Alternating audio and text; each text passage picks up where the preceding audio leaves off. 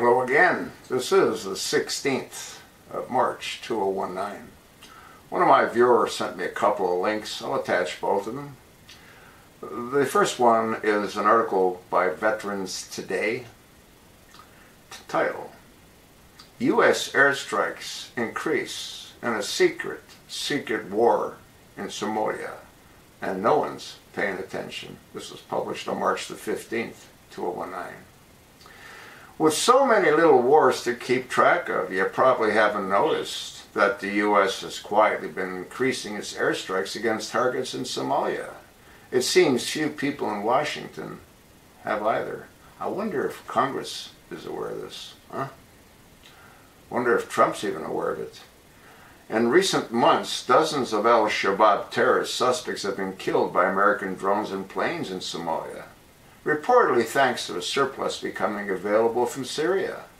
However, in a familiar pattern, the U.S. military has denied any civilians were harmed, while locals and aid agencies deny that denial. A former U.S. ambassador to Somalia told the New York Times, quote, It could be there is some well thought out strategy behind all of this, but I really doubt it. Another former U.S. government official described Somalia as a massive war on autopilot. Folks, I mean, this is just totally nuts. I mean, we've been fighting Somalians since 2007. Trump's also running a war alongside of Saudi Arabia against Yemen.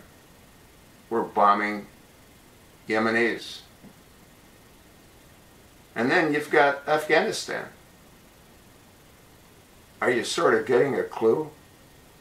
The other link's a video where the commentator talks about the war going on in Somalia.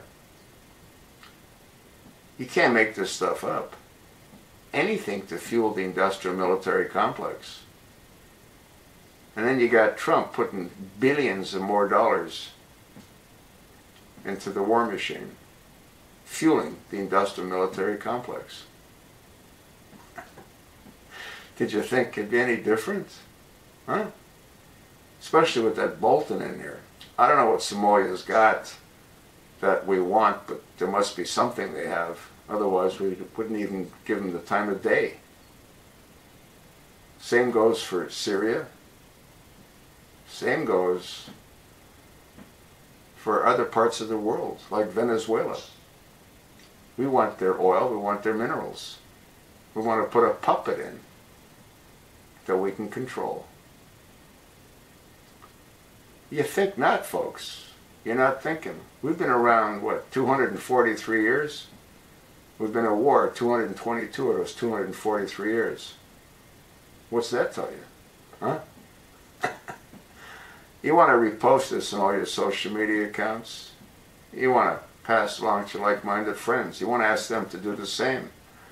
You want to send a copy to Trump. Maybe he doesn't know that we're out there bombing innocent people in Somalia. Huh? Thanks for listening. The links will be attached.